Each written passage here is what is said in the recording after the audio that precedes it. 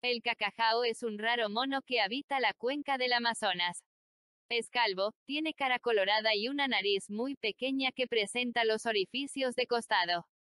Su pelaje varía de pardo a grisáceo y su cola también es pequeña, mide menos de 20 centímetros, algo llamativo en los monos del Nuevo Mundo, los que generalmente tienen colas largas y prensiles. Un puerco espín en el árbol. Parece extraño, pero sí, muchos puercoespines pueden treparse a los árboles para alimentarse. Sin embargo, existe una especie netamente arborícola, ya que baja al suelo solo de vez en cuando.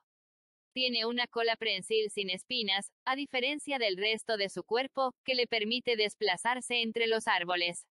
De día se esconde en los huecos de los troncos y sale de noche para obtener su alimento. Vive en bosques de América del Sur.